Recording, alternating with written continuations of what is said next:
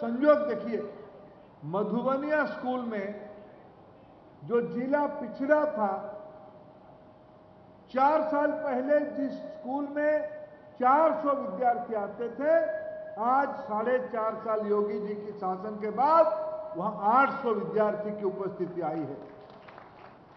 मित्रों, इसी को कल्याणकारी शासन कहा जाता है, जिम्मेवारी कहा जाता है।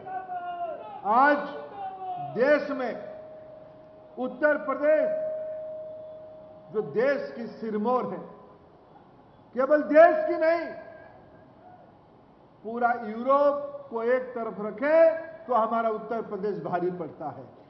अमेरिका को एक तरफ़ रखे तो उत्तर प्रदेश भारी पड़ता है। ना केवल जनसंख्या में नहीं, ना केवल आय आकार में नहीं, बौद्धिक क्षमता में।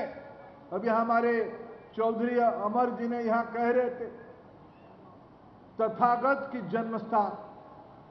जो गौतम बुद्ध ने तथागत से गौतम बुद्ध बन के दुनिया को भाईचारा का न्योता दिया, नया संदेश दिया, इसी की जन्मभूमि, कर्मभूमि यही भूमि है। यही है उत्तर प्रदेश है